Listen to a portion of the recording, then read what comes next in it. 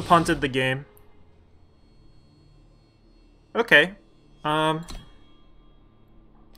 So, it ended up a little different than what we received, but, uh, deck seems to work.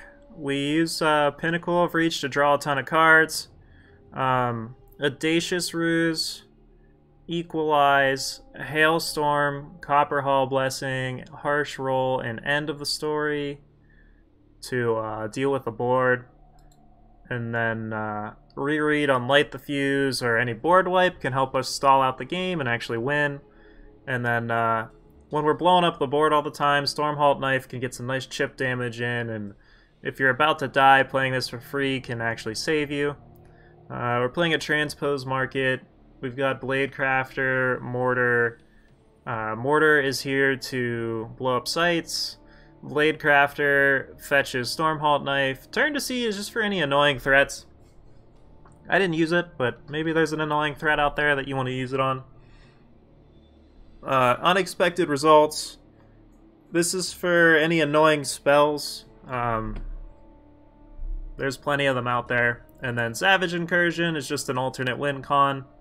Don't be a scrub like me and forget that you can reread it for some reason. And, uh... Yeah. So anyway, um...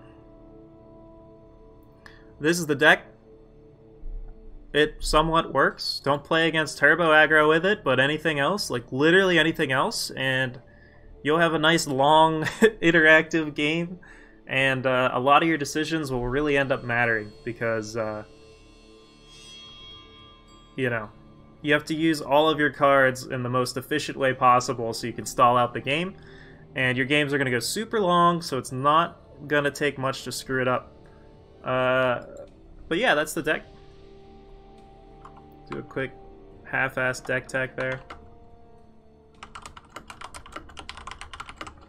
Hey Vincent, thanks for coming out. Uh, I might go live tomorrow.